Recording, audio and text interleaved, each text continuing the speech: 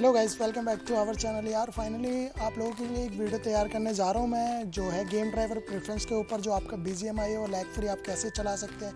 तो उसी के टॉपिक पे ये वीडियो हम कवर करने वाले हैं। तो इस वीडियो को कुछ भी स्किप मत कीजिएगा। और वीडियो एंड तक ज़रूर देखिएगा। उससे पहले वीडियो आप पूरी देखते नहीं और कमेंट में कुछ भी उल्टा कमेंट करते हैं तो यार वो सही नहीं है। और वीडियो एंड तक देखिए, अगर आपको नहीं समझ में आता है तो कमेंट में जो चाहे वो लिख सकते हैं। तो चलिए वीडियो को स्टार्ट कर लेते हैं और इसमें मतलब आप सबको पिंग से रिलेटेड भी कुछ जानकारी देने वाला हूँ। तो चलिए करते हैं वीडियो को स्टार्ट और साथ ही साथ आप हमारे चैनल पर नए हैं तो चैनल को सब्सक्राइब कर दे और वीडियो को लाइक भी कर दे अगर आपको अच्छी लगती है और अपने दोस्तों के साथ भी शेयर कर दे। तो करते हैं अपने वीडियो पर स्टार्ट तो गाइस आगे हम अपने फ़ोन के स्क्रीन पर सबसे पहले आपको जाना है आपके सेटिंग्स में और कई लोगों का क्वेश्चन होता है, यार, हमारे में गेम ड्राइवर प्रेफरेंस और डेवलपर ऑप्शन तो है ही नहीं।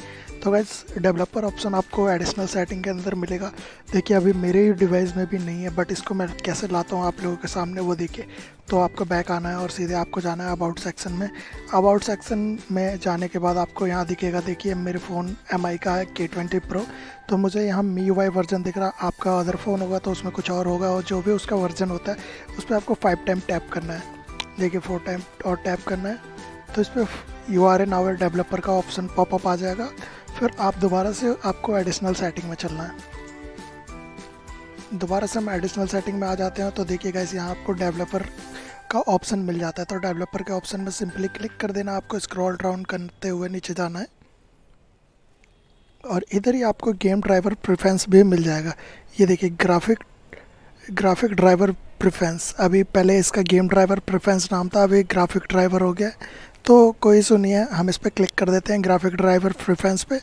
और एक बात का ध्यान रखिएगा कि ये जो है एंड्रॉयड 10 जो है डिवाइसेस उन पे ही सपोर्ट करता है एंड्रॉयड 10 एंड्रॉयड 11 उन डिवाइसेस पे ही ये सपोर्ट करता है और जो दो जी से नीचे के फ़ोन से उन पे ये सपोर्ट नहीं करता। तो देखिए यहाँ बैटल ग्राउंड का ऑप्शन आ गया। तो यहाँ सिस्टम ग्राफिक और ऑनली सिस्टम डिफ़ॉल्ट और सिस्टम ग्राफिक ड्राइवर दिखा रहा है।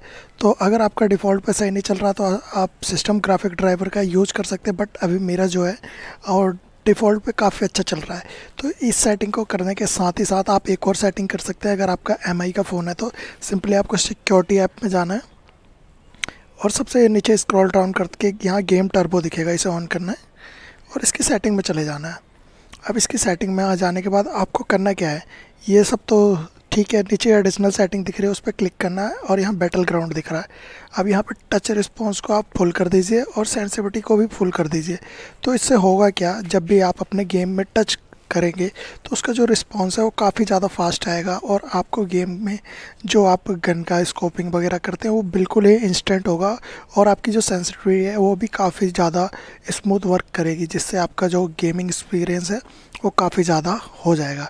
तो ये कुछ सेटिंग थी, आपको बतानी थी। अगर कुछ और भी जानकारी आपको चाहिए और कुछ समझ नहीं आया तो नीचे कमेंट कीजिए। अगर वीडियो थोड़ी सी भी अच्छी लगे तो वीडियो को लाइक कर दीजिए और हमारे चैनल को सब्सक्राइब कर लीजिए और मिलते हैं आपसे अगली वीडियो में। जब तक के लिए बाय